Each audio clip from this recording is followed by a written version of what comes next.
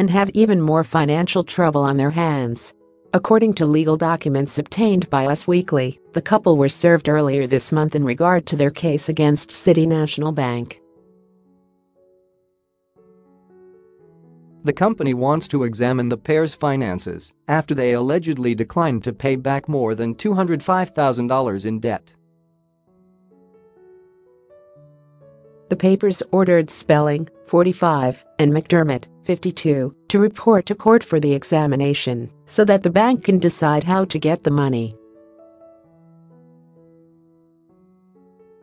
If the pair do not attend their hearing, they could be arrested for being in contempt of court. City National Bank filed a lawsuit in December 2016 after the True Tori alums allegedly failed to repay their $400,000 bank loan. McDermott and Spelling received a default judgment that stated they had to hand over $219,796. 66 in the case. US obtained court documents in January in which the Beverly Hills 90,210 star was ordered to pay American Express $88,000.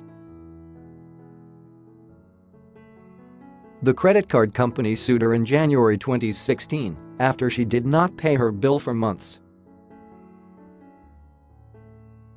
Fox announced on Wednesday that Spelling and are set to star in a six-episode 90,210 event series, which will air this summer.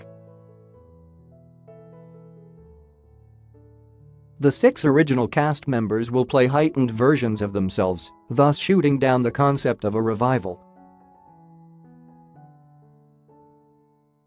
The Masked Singer star shares five children with McDermott, Liam, 11, Stella, 10, Hattie, 7, Finn, 6, and Beau, 23 months.